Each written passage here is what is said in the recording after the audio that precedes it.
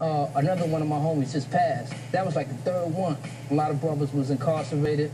I shot it at one of my homies, and it was like, damn, son. Like, oh, shit. I felt it from the heart. Visualizing the of life and actuality. Fuck the baddest. A person's status depends on salary. And my mentality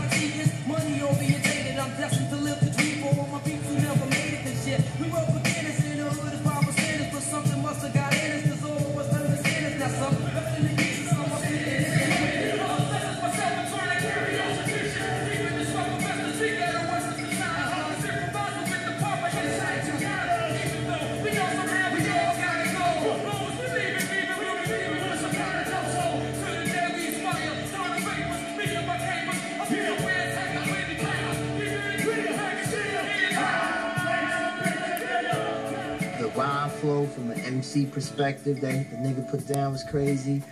But when you say I'm destined to live the dream for all my peeps who never made it, nestled within all of that street grimy shit the nigga talking is hope.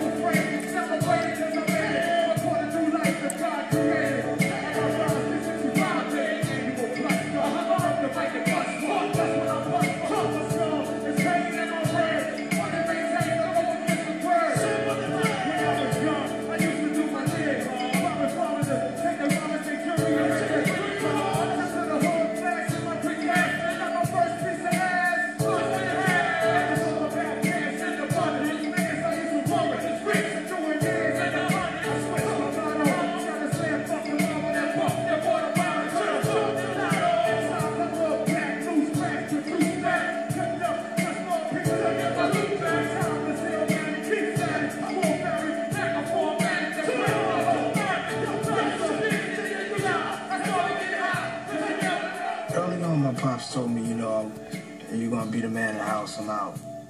My mom told us, you know, and he's still your father. He still loves you.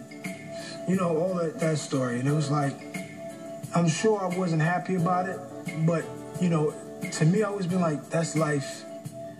You know, keep